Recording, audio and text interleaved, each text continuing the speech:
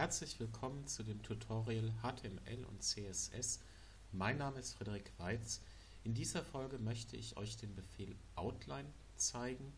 Das geht jetzt nochmal ein bisschen in diese ähm, ähm, Box-Darstellung hinein oder in dieses Box-Styling und ähm, ich zeige euch am besten einfach erstmal, was das macht und dann schauen wir uns genauer an, wozu das gut ist. So, wir gehen erstmal hier wieder in unseren HTML-Code hinein und ich sag mal so, ähm, ist ganz sinnvoll, wenn wir jetzt hier einen Teil wieder auch rauslöschen. Obwohl, naja, lassen wir das jetzt einfach mal.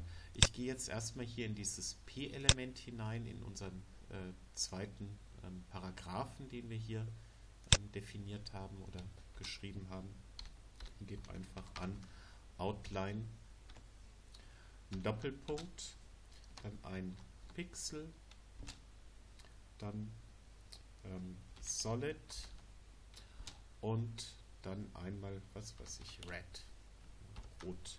So. Und ihr seht, das wird jetzt erstmal ganz genau wie so ein, ähm, äh, eine Rahmenlinie definiert. Und wenn wir das dann im Browser öffnen, jetzt gehen wir mal hier oben rein, so, und laden das neu. Und dann seht ihr, der macht auch nichts anderes erstmal, als so eine Linie zu zeichnen. So, der erste Unterschied, den ihr feststellen werdet, ist, wenn ihr versucht, ähm, oben und unten und links und rechts einzeln anzusteuern. Das kann die Linie Outline nämlich nicht. Und ähm, das zweite, was ihr feststellen werdet, ist, wenn ihr eine ähm, Border definiert, und wir machen das jetzt mal 1px und dashed und green. So, und das speichern wir jetzt mal ab und laden das. So, es sitzt außerhalb von der Rahmenlinie. Das ist das zweite, was man so sa dazu sagen kann. Um das jetzt mal ein bisschen deutlicher zu machen, ähm, machen wir daraus jetzt mal 4 Pixel bei der Outline und 4 Pixel bei der Rahmenlinie und dann schauen wir uns das Ganze nochmal an, wie das jetzt aussieht. Ne? So sieht das aus. Also schön ist es zunächst erstmal, dass man einen zweiten Rahmen sich sozusagen setzen kann. Und jetzt verpassen wir dem Ganzen noch ein Margin, also eine Außenlinie und die Margin setzen wir auf 4 Pixel.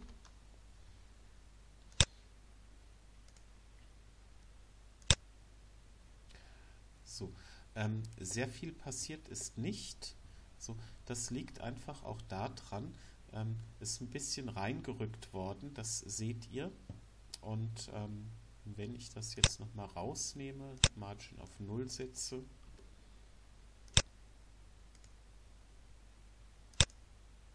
dann seht ihr, dass das zwar an den Seiten zurückrückt, aber nicht nach oben und nach unten. Was passiert hier?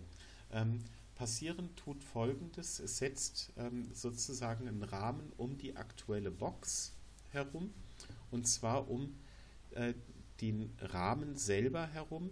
Das heißt, das Padding ähm, würde ich noch mit innen drin haben, aber ähm, sobald ähm, es einen Abstand gibt, also ein Margin gibt, wird diese Outline ähm, auf den Abstand drauf gezeichnet. Das heißt, ähm, äh, die Outline wird nicht, ähm, nicht zu der äh, gesamten Box dazu gerechnet und nur in dem Fall, in dem es hier sozusagen ähm, oben, äh, vorne und hinten tatsächlich der Rand, also die, dieses Border, direkt am Rand sitzt, dann wird ähm, ganz außen noch ähm, die Outline sozusagen extra gezeichnet. Ansonsten sitzt die tatsächlich auf diesem Außenrand mit drauf. So. Und das kann man auch äh, sehen, wenn man diese ganze Sache größer macht. Ich setze zum Beispiel mal die Outline auf 10 und den Außenrand auch auf 10 Und wenn ich das Ganze jetzt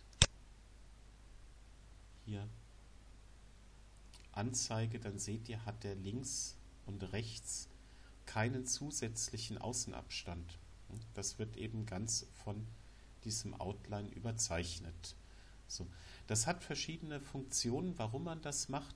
Ich selber benutze es, muss ich sagen, ganz, ganz selten. Ähm, aber manchmal ist es gut, um sich bestimmte Sachen deutlich zu machen und zu gucken, wo sitzt das.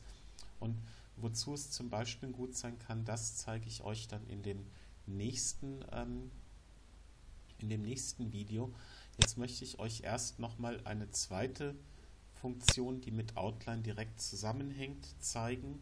So, ähm, erstens ähm, äh, könnt ihr Outline ähm, auch aufteilen in die drei Komponenten. Das heißt, ihr könnt Outline-Color schreiben und dahinter die Farbe, Outline-Style und dahinter schreiben, ist es solid oder ist es dashed oder ist es dotted und so weiter und so fort. Und ihr könnt Outline-Weight schreiben und da, oder white, ähm, nee, weight äh, schreiben und dahinter dann äh, die Dicke des Randes setzen. So, das könnt ihr also einzeln definieren. Es gibt noch einen zweiten Befehl, der da nicht mit drin ist, und zwar outline Bindestrich und Offset. So, und dahinter könnt ihr auch eine Zahl schreiben, zum Beispiel 5px. Und dann, wenn man das sich anzeigen lässt, sieht das folgendermaßen aus nämlich so. Das heißt, hier wird das Offset, ähm, äh, das ist sozusagen dieser Rand eigentlich auf dem Papier, äh, wo dann noch irgendwelche Informationen für die Druckerei draufstehen, wenn ein Buch gedruckt wird. Ähm, das wird hier sozusagen in äh, das HTML oder in das HTML-Dokument eingefügt. So. Und dann ähm, kann es tatsächlich sein, wenn das Offset plus die Randdicke oder diese Outline-Dicke größer ist als, das, ähm, äh, als der Außenrand, dass, äh, dass die Outline außerhalb von dem Außenrand zu liegen kommt. So. Und auch das kann ich euch zeigen. Ich mache mal den Offset auf, sagen wir mal 20. Wir werden jetzt mal so ein bisschen wüst. So. Und jetzt seht ihr, dass ähm, die Outline tatsächlich andere Elemente überdecken kann. Ja? Also das ist eben tatsächlich, um sich bestimmte Größenverhältnisse deutlich zu machen, ist das eine prima Sache und da werdet ihr das relativ häufig gebrauchen. Jedenfalls mir geht es so, dass ich das häufiger gebrauche dafür. Das ist also die eine Sache, die ich euch zeigen wollte, ähm, wie man Outline benutzt, um sich Ränder deutlich zu machen. Das, wozu es noch gut ist, das zeige ich euch im nächsten Video. Wenn euch das Video gefallen hat, drückt mal einen Daumen hoch und wir sehen uns beim nächsten Mal.